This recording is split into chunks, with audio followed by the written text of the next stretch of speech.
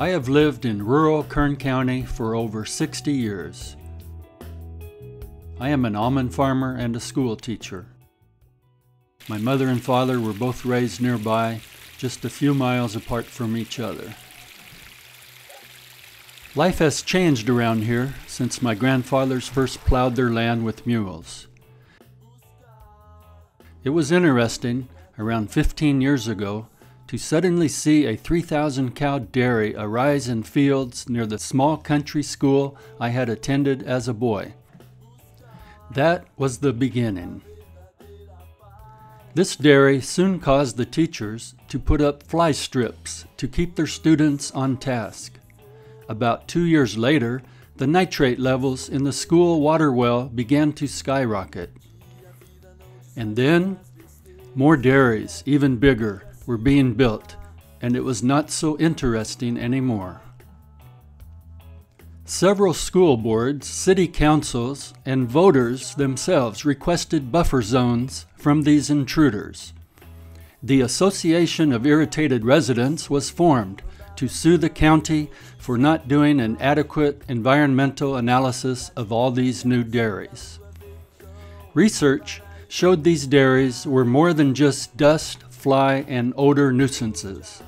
They also contribute hugely to our regional air quality problem, which is the worst in the nation.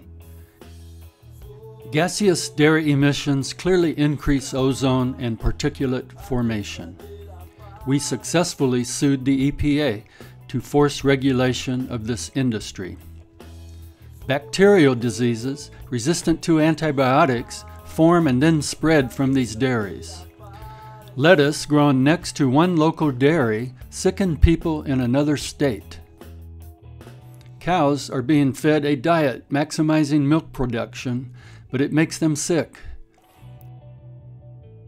The whole system is based on cheap fossil fuel, corn from the Midwest, government subsidy, and maximum yet completely unsustainable production.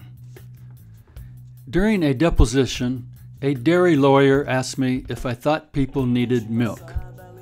Absolutely not, I replied. From then on, my diet changed. I now only eat cheese from grass fed cows that are not labeled happy.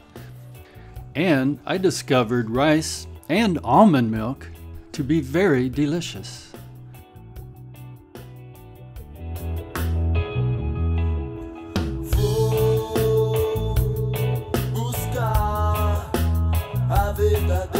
Paz.